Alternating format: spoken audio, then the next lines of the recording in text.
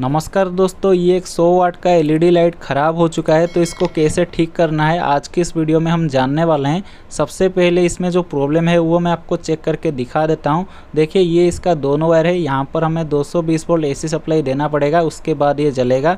तो सबसे पहले मैंने यहाँ पर सीरीज़ लाइन का दोनों वायर को ले रहा हूँ, और ये सीरीज़ लाइन का दोनों वायर को एलईडी लाइट की दो वायर के साथ में लगाने से, यहाँ पर आप लोग देख सकते हो, काफ़ी सारे एलईडी हमारा नहीं जल रहे हैं, और जो एलईडी जल रहे हैं, वो हमारा काफ़ी धीमे से चल रहे हैं और ना कि बराबर यहाँ पर रोशनी दे रहा है। तो इस प्रकार का प्रॉब्लम यहाँ पर हमारा दिखाई दे रहा है। तो सबसे पहले हमें इसको खोलना पड़ेगा। तो खोलने के लिए मैंने ये लाइट को यहाँ पर उल्टा करके रख देता हूँ और यहाँ पर लाइट की चारों तरफ़ हमारा स्क्रू लगा हुआ है। तो सबसे पहले स्क्रू ड्राइवर के दौरान यहाँ पर ये सारे स्क्रू को मैंने खोल लेता हूँ।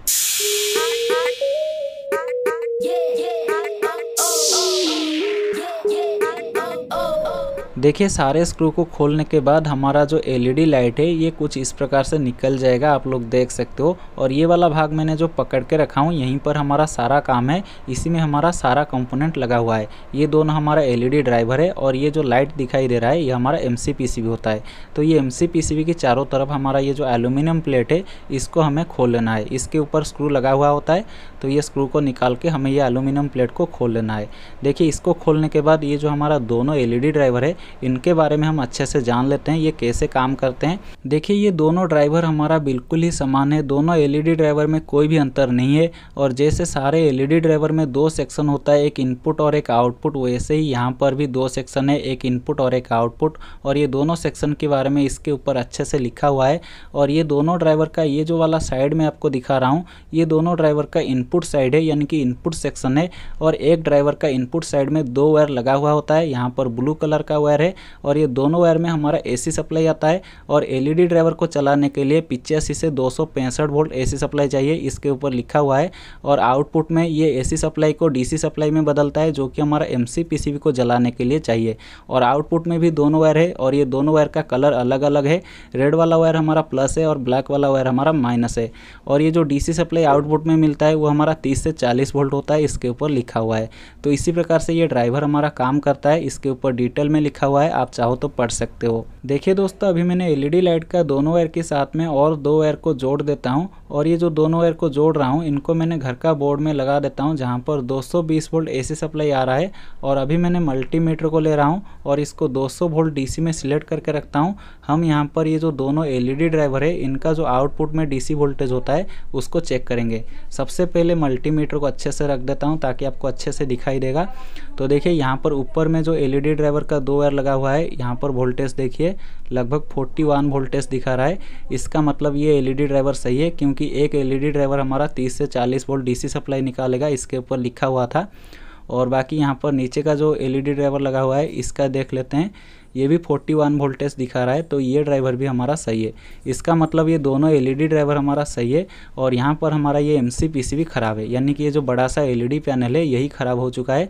तो यहाँ पर अगर हम ये एलईडी पैनल को हटाकर नया एलईडी पैनल लगा देंगे सौ वाट का तो ये जो एलईडी लाइट है, ये हमारा रिपेयर हो जाएगा। अभी दोस्तों, हमारा लोकल मार्केट में सौ वाट का एमसीपीसीबी नहीं मिलता है, इसीलिए मैंने यहाँ पर एक जुगाड़ करने वाला हूँ। अगर आपका भी एमसीपीसीबी या फिर ड्राइवर ख़राब हो जाता है और लोकल मार्केट में नहीं मिलता मिलता है। तो आप इस प्रकार का जुगाड़ कर सकते हो। देखिए, इस प्रकार का जुगाड़ करने के लिए आपको दो डी चाहिए और ये एक डी पचास वाट का होना चाहिए और इस प्रकार के डी को अल्फ़ा डी बोला जाता है। ये दोनों डी को मिला के यहाँ पर लगाने से ये सौ वाट का बन जाएगा। तो इनको कैसे लगाना है और कैसे कनेक्शन करना है, चलिए देख लेते हैं।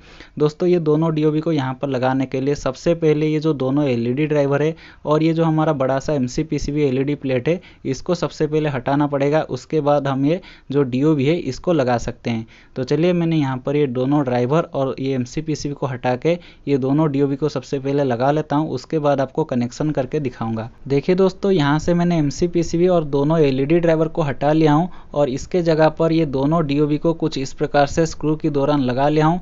तो ये दोनों डीओबी का कनेक्शन करने के लिए सबसे पहले मैंने एक वायर को ले रहा हूँ और ये वायर को कुछ इस प्रकार से सोल्डरिंग कर रहा हूँ। देखिए हमारा दो डीओबी में चार पॉइंट है, एक डीओबी में दो पॉइंट है। तो यहाँ पर ये जो चार पॉइंट है, ये चारों पॉइंट को हमें दो वायर के दौरान कुछ इस तरह से सोल्डरिंग करके कनेक्शन करना पड़ेगा, जैसे कि आप लोग यहाँ पर वीडियो में देख रहे हैं।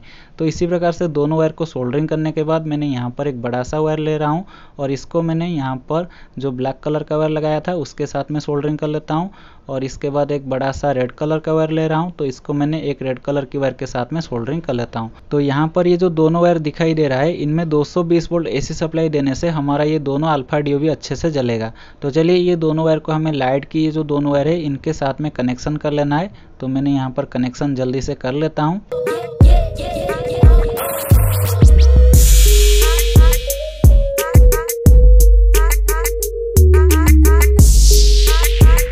तो देखिए, अभी हमारा ये दोनों वायर का कनेक्शन हो चुका है तो चलिए अब हम इसको चेक करके देख लेते हैं। तो चेक करने के लिए मैंने सीरीज़ लाइन का दोनों वायर को ले रहा हूँ। आप लोग देख सकते हो हमारा सीरीज़ बल्ब जल रहा है। तो ये दोनों वायर को मैंने लाइट की, दोनों वायर के साथ में लगा देता हूँ। तो देखिए, हमारा लाइट तो जल रहा है, लेकिन हमारा सीरीज़ बल्ब भी जल रहा है। तो ऐसा क्यों हो रहा है, मैं आपको बता देता हूँ। सबसे पहले मैंने ये सीरीज़ बोर्ड को पास में ले आता हूँ, आपको अच्छे से दिखाई देगा। अभी मैंने जलाता हूँ। यहाँ पर देखिए, ये हमारा सीरीज़ बल्ब थोड़ा बहुत जल रहा है। तो इसका कारण ये है कि हमारा जो लाइट है, ये 100 वाट का है और हमारा जो सीरीज़ बल्ब है, ये भी हमारा 100 वाट का है। तो इसीलिए ये सेम वाट का होने के कारण ये लोड अच्छे से नहीं ले पा रहा है और सीरीज़ बल्ब जल रहा है और शॉर्टिंग का प्रॉब्लम दिखा रहा है। लेकिन एक्चुअली ये शॉर्टिंग नहीं है। अभी मैंने डायरेक्ट में लगा के दिखाता हूँ। देखिए, मैंने डायरेक्ट में लगाया हूँ और यहाँ पर काफ़ी ज़्यादा रोशनी आ रहा है डायरेक्ट में। सीरीज़ में इतना रोशनी नहीं आ रहा था क्योंकि वो जो एलईडी का वाट था 100 वाट और हमारा सीरीज़ बल्ब भी 100 वाट का है तो इसलिए ये लोड अच्छे से नहीं ले पा रहा था। देखिए, अभी हमारा ये सौ वाट का लाइट रिपेयर हो चुका है, इसमें कोई भी प्रॉब्लम नहीं है, ये बहुत ही बढ़िया से जल रहा है। तो इसी प्रकार से आप ये सौ वाट का एलईडी लाइट को रिपेयर कर सकते हो और इसको हमने जैसे निकाले थे, वैसे ही फिटिंग कर लेंगे। तो अगर आपको ये वीडियो पसंद आई है तो इस वीडियो को एक लाइक ज़रूर कर देना।